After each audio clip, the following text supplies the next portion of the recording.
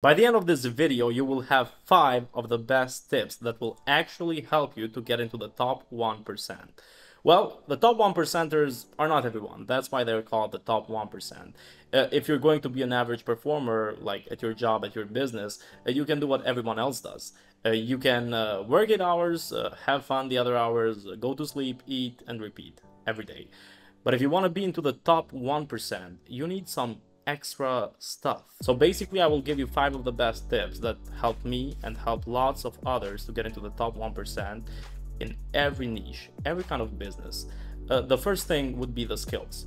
Uh, there are two kinds of skills the technical skills and the business skills so the technical skills you're not born with those you will not have the talent to have all the technical skills the technical skills are something that will be built, that will be learned throughout all of your journey until you become a professional. In different niches, let's say on software engineering or on cybersecurity, lately all my videos have been about these two, uh, you will need some really interesting skills. It's not just coding or not just knowing Linux or another operating system. Uh, you got to know how the logic works. You got to understand how people work, how the business works, how all the backend works. Uh, you can learn some pieces of code by heart. You can learn how to like create a variable or even an object. You will never learn the strategic thinking that goes into it. Uh, in cybersecurity, it's also the same thing. Uh, not everyone can be a penetration tester. Not everyone can be a really good cybersecurity engineer. Well, you can get a job, but you cannot be the best. It's not as simple as learning some commands on Linux. Uh, basically, when you're pen testing or you're testing the security of a company, of a business, if you only know the commands, if you only know some like small frameworks, you're just like everybody else. Everyone knows that. It's stuff that can be learned like pretty easily. But if you know how to work around, if you know how to think out of the box, like some critical thinking, you will be at least on the top 10%. Maybe not 1%, but you will be in the top 10%. I also mentioned some other kind of skills. These are the soft skills. Uh, you've probably seen most of the software developers, all these tech bros that are into YouTube everywhere. Uh, what they do is they stay home all day stay home at the computer, go work, and go to sleep again. Um, all these people, they have all the technical skills needed to perform at the job, but not a lot of those know how to speak with someone, how to treat someone properly, how to treat the company, uh, how to like talk with other business people. Uh, if you can communicate someone like your technical skills and tell them, hey, this code does this, this code does that, if the other party is not a technical person, they won't understand a thing that you said. You will have to develop soft skills, you will have to develop techniques on how to talk to people, how to be more empathic to them, because on the workplace, everything happens every day. And there's lots of drama, probably, so you gotta understand on how to navigate all these drama and be like much better than everyone else. The second skill that, or the tip that I can give you is that you gotta stay current with the new trends. Uh, if you're left behind, if you've like, uh, if you've mastered the Windows 98 that not, ev not everyone knows nowadays, in fact nobody almost uses it, uh, that won't be of work to anyone. Uh, if you're up to date with all the new trends, if you're up to date with all the new technologies that have emerged, you will be able to not only switch jobs, but even update your position.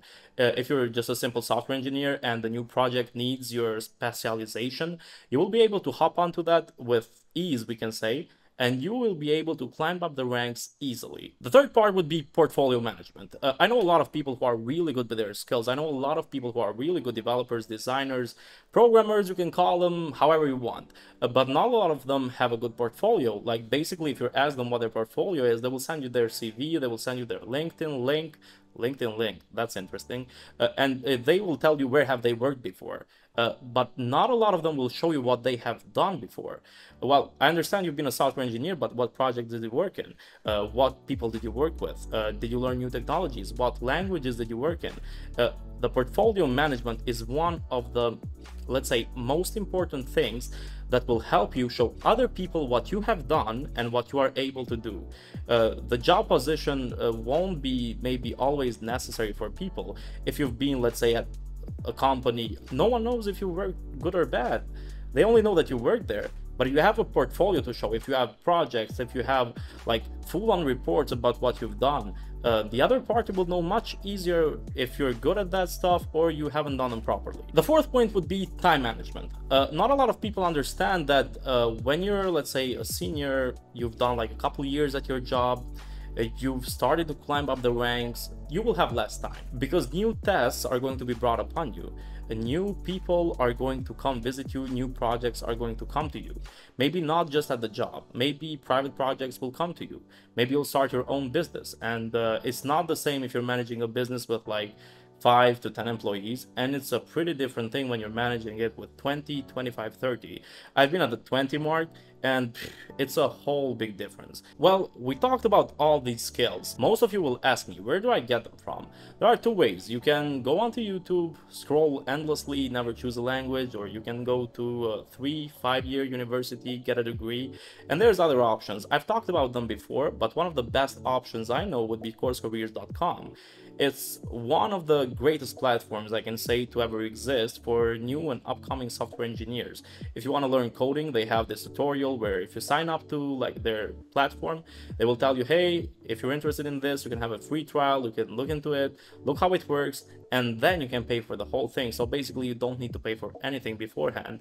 So for everyone watching, if you're still at this mark, go on to coursecareers.com, join, subscribe, or like pay what you want. And in three months after you finish the course, of course, if you buy it, uh, please let me know in the comments, contact me privately if it worked for you. It worked for thousands of others, so I'm pretty sure it can work for you as well. And we're into the final part, the fifth part, the business knowledge.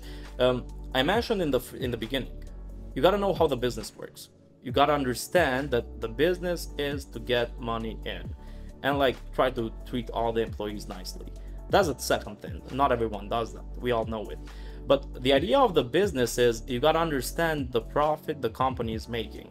If a company has gotten a project and uh, they're getting like $30,000 for it, they're not going to pay you $25,000 to complete the project because you already have a base salary. But even if they wanted to give you a percentage, you got to understand that it, they have a margin profit. They're not doing it for free, only to get the revenue. In the beginning, every business knows that if you're generating like $100 million a year in revenue, but you're getting like $500,000 in profit, that's not a lot of money for the business because there are other employees but you and you got to understand how the business works. Uh, the other part would be the taxes. Not a lot of people understand how taxes work, and when they start a business and they haven't checked all these boxes out, they will get uh, violated, they will violate the law, they may get different fines, and they will never be able to perform good on their business or on their job because they won't have the time because they're always doing other things like uh, seeing how to lower the fines, seeing how to lower the taxes, not pay good taxes. But taxes not, I cannot stress this enough. If you understand how the numbers work in the business, you are set up for success. Not a lot of people know this. Not a lot of people know how, how much money goes in, how much money goes out, and in the end, they lose. The other business skills would be partnerships uh, you should be able to create partnerships. You should be able to connect with other people. Uh, i've heard this saying like in the last year like probably more than a thousand times but it's actually true. Like your network is your net worth uh, if you're creating a good network with uh, good partners, good businesses, uh, people who have money, we can say in a way, uh, you will be able to bring money in. Why? Because you have something that all of your partners need, and they are more than willing to pay you for it, maybe even more than they would pay someone else. Uh, so basically, networking in uh, probably in every niche, but especially on the tech niche on literally software engineering, cyber, networking, everything that you've chosen to do the network is the best thing you can create over the years because if you're creating a good network with uh, all these tech tech geeks we can call them in a way uh, you'll be able to find projects more easily if you don't want to if you want to quit the job go into another job you will do it more easily because you will have people who will refer you to their companies. We said we need skills, we need business, we need technical skills, soft skills, we need knowledge and all of that. But if you're taking all of the five steps I mentioned seriously and you've started to implement them in your professional life, you will probably have it much more easier than I did. I did some mistakes that I'm not proud of, but if I had someone to tell me all of these steps beforehand, I'll be I'll probably would be in a much better place today. Let me know if you like the video, subscribe to the channel, press the notification bell, and see you on the next video. As always, this is Egji signing off.